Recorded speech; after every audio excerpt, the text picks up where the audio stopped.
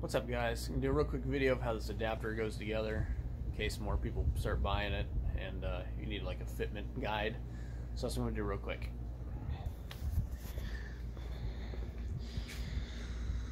So here we have the back of a 302 Ford. And uh, so this is my original adapter plate. The one you'll get will not have this added piece. It will be all one piece. It'll be a little thinner and it'll fit like it's supposed to for the starter. So ideally what you'll do is when you get your adapter plate, you have to tap the two starter holes for the 3 8 by 16. And then if you choose to, you can always countersink that hole there and the third one up on the left and run a uh, 7 16 by 14 I don't know like a one inch long three quarter inch long countersink to capture there and capture there. Uh, the dowel pins you have to knock out of your block and you'll just run a half inch tap half inch by 13 so this is what I used. It's uh, I think it's a three inch three and a half inch maybe. And the idea is when all this threads through you're going to end up with about that much of it going into the block and that's what aligns the transmission to the motor through the original dowel pin.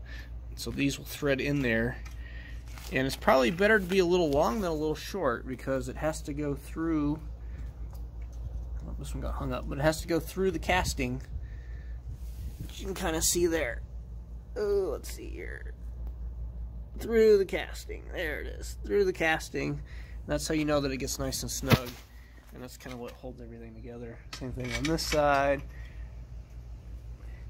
These will run down.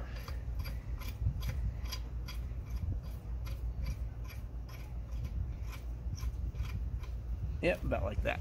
And it will actually stick through the back a touch if it actually does it. But yeah, so these are what align the transmission to the block.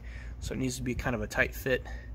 And then these are just your standard 716 by 14 bolts at the top. So then I'll show you what that looks like on the transmission side.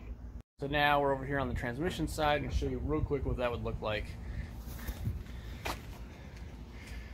so uh, you have this 10 mil by 1, I believe is what this is. Kind of anchors the bottom where the starter's going to go. Uh, so your dowel pin and dowel pin. I took the transmission, took the transmission, and I just ran a half inch drill bit through the factory transmission hole there because I think it's really like an 11 mil or some crazy. So you need to neck it up to get that to slide through there and that's about how much thread you'll have sticking out. That's about how much thread you'll have sticking out into the motor. That's what aligns that there and same on this side. So technically I could have found a bolt that was a little bit longer where more shoulder would stick out into the block to where the dowel pin would go and then the thread would come out past. So I mean that's up to you. And then really it looks like countersink and a countersink and then, so this bolt hole gets omitted. It doesn't even get used, which is fine.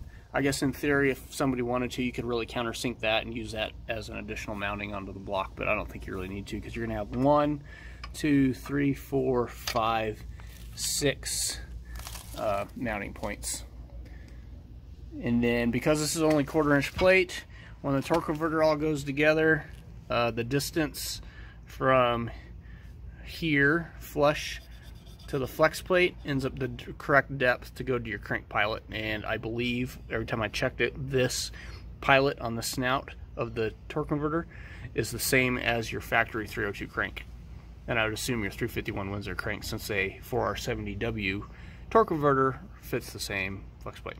So I believe this was like the 11 and a half inch spread whatever the metric equivalent is. I'll have to double check that. But Yep, that's how the fitment works. Should be like 11 and 3 eighths.